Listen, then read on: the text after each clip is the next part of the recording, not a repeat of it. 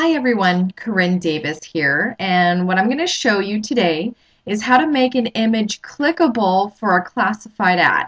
And what that will do is that it will, when you click on an image, it will send somebody directly to your website.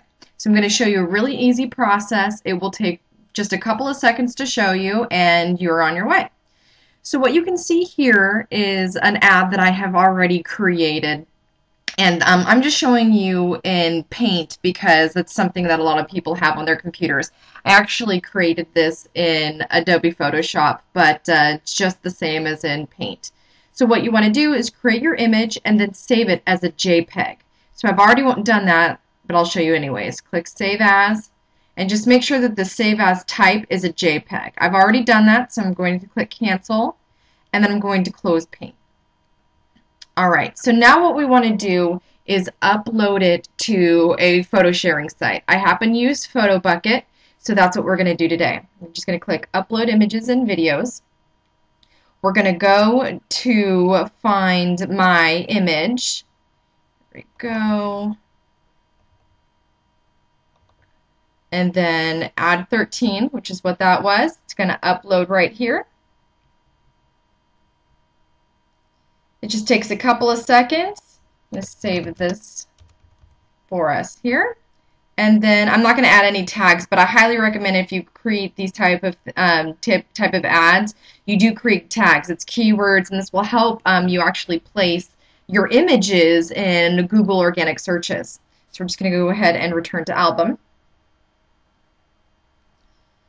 And then now what we need to do is get the HTML code um, of the image to change. This HTML code is what you're going to paste into whatever classifieds you're using or whatever service you're using that um, will allow you to use HTML coding.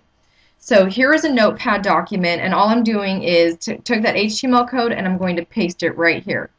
As you can see it's kind of a long code but we're going to change a couple of things make sure if you do have Notepad that word wrap is off.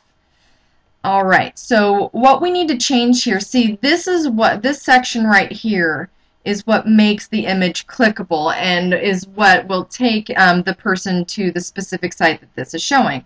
So of course right now um, it's currently showing that when somebody clicks on this image they'll be taken to the photo bucket account, which is not what we want.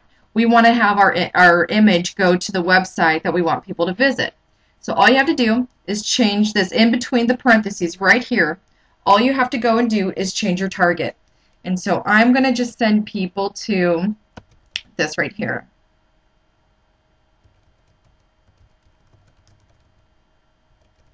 That's one of my websites, and that's all you have to do. This is the HTML code that you're going to paste into you know, um, whatever services you use. A lot of people are using Backpage, a lot of people are using Craigslist, um, and a lot of other uh, free classified ads that allow you to use HTML.